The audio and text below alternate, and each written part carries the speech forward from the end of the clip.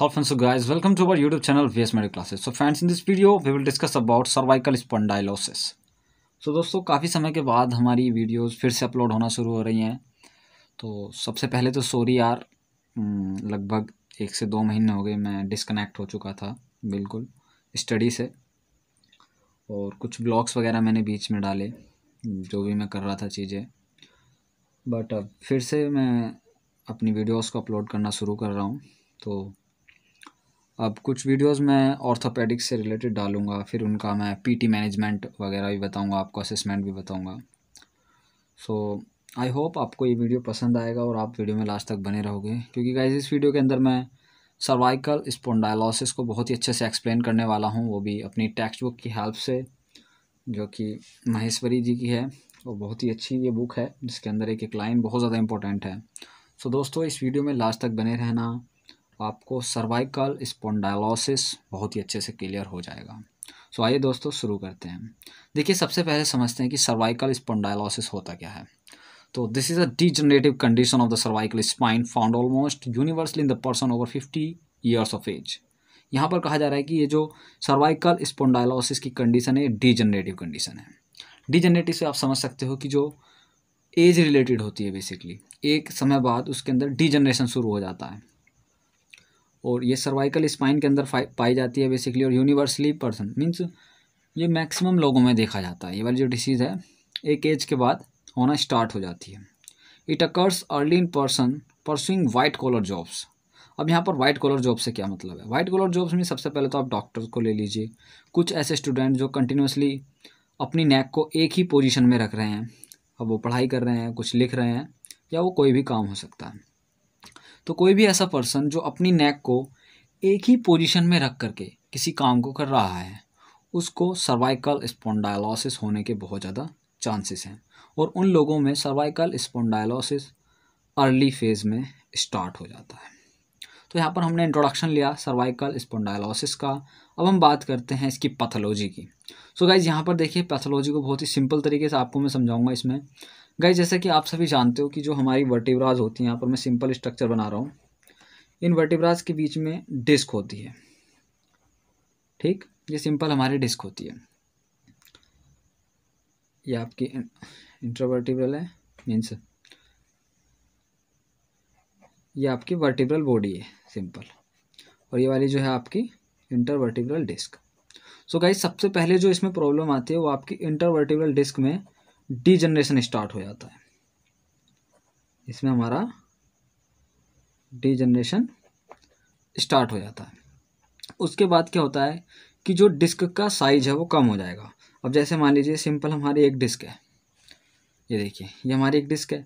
अब जब इसके अंदर डी जनरेशन शुरू होगा तो जो इसका साइज़ है वो कम हो जाएगा। जब इसका साइज़ कम होगा तो ये डिस्क जहाँ पर प्रेजेंट थी, दो वर्टिब्रास के बीच में डिस्क प्रेजेंट थी तो जब साइज़ कम होगा तो ये वाला जो स्पेस है, ये जो इंटर वर्टिब्रल डिस्क जो होती है, इसका जो स्पेस है मीन्स इन दोनों वर्टिब्रा जो वर्टिब्रा हैं वर्टिब्रल बॉडी हैं, इन दोनों के बीच का जो स्पेस है वो कम हो जाता है। अब उसके कम होने की वजह से क्या होता है फिर? जो पेरीफेरीज होती हैं, जो आपकी वर्टिब्रल बॉडीज़ की जो पेरीफेरीज होती हैं, यहाँ पर आपका ओस्टोफाइट जनरेट होने लगता है। ओस्टियोफाइट क्या होता है दोस्तों? जो आपका एक्स्ट्रा बोनी बोनी फॉर्मेशन होने लगता है बेसिकली देखो, मैं आपको इसमें नी जॉइंट का एग्जांपल देता हूँ। यहाँ पर देखिए, पहले यहाँ पर मैंने बनाया आपका वर्टिबल बॉडीज़ हैं ये। इसमें आपका ओस्टोफाइट का फॉर्मेशन होने लगा, कुछ इस तरह से। गाइज़ यहाँ पर मैं ये रफली डायग्राम बना रहा हूँ जस्ट आपको समझाने के लिए।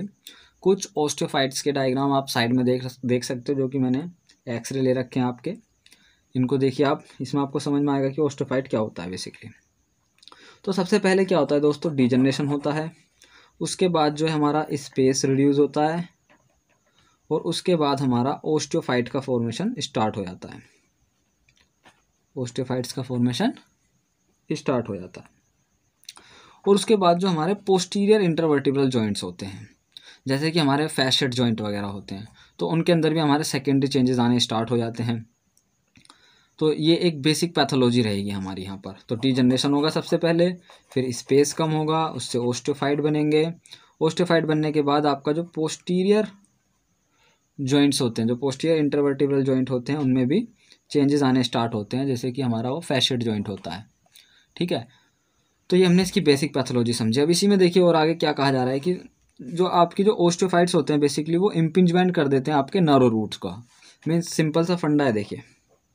ये हमारी एक वर्टिब्रा ये दूसरी वर्टिब्रा है। अब दोस्तों, यहाँ से आप सिंपल मान के चलिए कि कुछ नर्व रूट निकल रही हैं। ये नर्व रूट हो गई हमारी। तो अब जब यहाँ पे ओस्टोफाइट बनने लगेंगे कुछ इस तरह से तो ये ओस्टोफाइट क्या कर रहा है? इस नर्व रूट के ऊपर प्रेशर डाल रहा है। यहाँ से हड्डी बढ़ गई तो इस नर्व रूट के ऊपर क्या आएगा? प्रेशर आएगा। तो सिंपल सा यहाँ पर हम क्या कह सकते हैं कि जो नर्व रूट है वो कंप्रेस हो रही है। ठीक? बिल्कुल सिंपल तरीके से आप ऐसे समझ सकते हो इसको।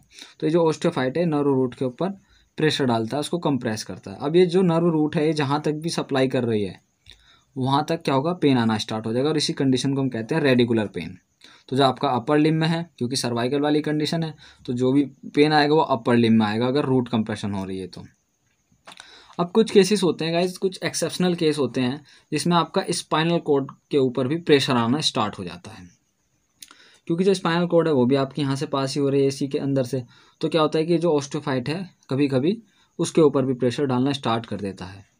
तो cervical spondylosis occurs most commonly in the lowest three cervical intervertebral joint यहाँ पर कहा जा रहा है कि जो सर्वा जो आपका सर्वाइकल स्पोंडाइलोसिस की कंडीशन है, ये आपकी mostly C five C six joint में देखने को मिलती है। जो सर्वाइकल जॉइंट जो होते हैं सर्वाइकल इंटरवर्टिब्रल जॉइंट जो होते हैं, उसमें से हमारा ये सी फाइव सी सिक्स में सबसे ज़्यादा देखने को मिलती है। ओके फ्रेंड्स तो यहाँ पर हमने समझा बेसिकली सर्वाइकल स्पोंडाइलोसिस का introduction and pathology so guys ये हमारा फ़र्स्ट पार्ट है। नेक्स्ट पार्ट के अंदर हम डिस्कस करेंगे इसके कुछ क्लिनिकल फीचर्स इसका एग्जामिनेशन इसका कुछ treatment okay friends so guys मिलते हैं नेक्स्ट वीडियो में। तब तक के लिए bye bye take care thank you so much